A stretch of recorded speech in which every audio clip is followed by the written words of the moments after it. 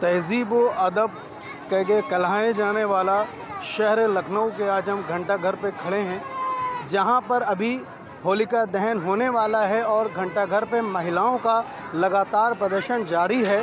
हम यहाँ पर महिलाएँ खड़ी हैं कुछ महिलाओं से हम पूछेंगे आज यहाँ पर सुरक्षा व्यवस्था का क्या इंतज़ाम प्रशासन ने किया है? आइए देखते हैं कुछ महिलाओं से बात करते हैं। क्या नाम है आपका मैम? इरम रिजवी। इरम रिजवी जी। इरम रिजवी जी ये बताइए यहाँ प्रशासन ने सुरक्षा जो अभी यहाँ पर होलिका दहन जलने वाली है तो यहाँ पर किस तरह की सुरक्षा व्यवस्था की गई है? देखिए, पुलिस ने जो आप देख रहे होंगे, मेरे चारों तरफ़ इन्होंने जो बल्लियों का इंतज़ाम किया है, लगा दी है और सामने फ्रंट पे बैरिकेटिंग करी है। लेकिन ये सुरक्षा, हम इनकी क्या सुरक्षा माने? क्योंकि मेन सुरक्षा हमारी होती ही नहीं है हमारी वुमेंस डे पे। समझिए कि जब महिला दिवस होता है महिला दिवस के दिन हमारी एक सा आ, जो है मेरे माँ जैसी एक औरत इसी आंदोलन में भीगने की बारिश में भीगने की वजह से उनका इंतकाल हो जाता है।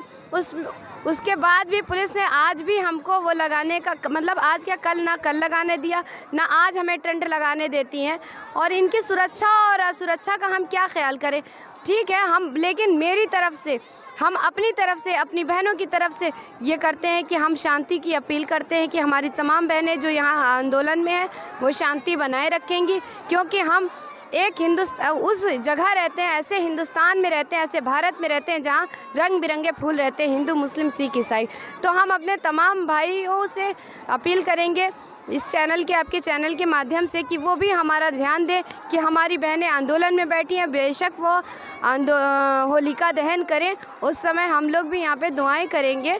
लेकिन वो भी थोड़ा सा हमारा ख्याल रखें, बल्कि और किसी देखा आपने यहाँ पर किस तरह से महिलाएँ कुछ प्रशासन से नाराज़ भी हैं कि वुमेन डे के ऊपर यहाँ पर जो एक महिला का इंतकाल कर गई थी, मृत्यु हो गई थी। मगर उसको आगे बढ़ते हुए आज महिलाएँ जो हैं अपने प्रदर्शन को आगे बढ़ा रही हैं और होलिका दहन के ऊपर आज महिलाओं ने यहाँ पर एक जो है लिख के भी लगाया है कि दिल मिले नफ़रत जले। तो आप देखिए, होलिका दहन के साथ दिल मिले, नफ़रत जले। इस तरह का महिलाओं की तरफ़ से एक मिलनसार संदेश दिया जा रहा है और लगातार यहाँ से घंटाघर आज जो है पूरी दुनिया में पहचाना जा रहा है इस धरने की वजह से। पहले भी जाना जाता था, मगर अब आज महिलाओं के इस धरने की वजह से जो एनआरसी और सीए के ख़िलाफ़ विरोध प्रदर्शन चल रहा है, उसकी वजह से ही पहचाना जा रहा है। और आप देख सकते हैं किस तरह से महिलाएँ यहाँ से लगातार एक अच्छा संदेश देना चाहती हैं और आज भी इस ठंडक से और इस हवाओं से लड़ते हुए आज महिलाएँ यहाँ पर अपना प्रदर्शन जारी जारी रख रहे हैं। और आप देख सकते हैं किस तरह से यहाँ पर महिलाएँ एक साथ जुट होकर आज अपने इस लड़ाई को आगे बढ़ा रही हैं। और यहाँ पर पुलिस प्रशासन ने भी जो यहाँ पर बैरियर लगाए लगा रखे हैं, यहाँ पर महिलाओं की सुरक्षा को देखते हुए यहाँ पर पुलिस बल तैनात कर दिए गए हैं। अपने कैमरामैन से कहेंगे, वहाँ पर दिखाइए थोड़ा सा कि किस तरह से यहाँ पर बैरियर लगाई है और पुलिस तैनात है यहाँ पर महिलाओं की सुरक्षा के लिए।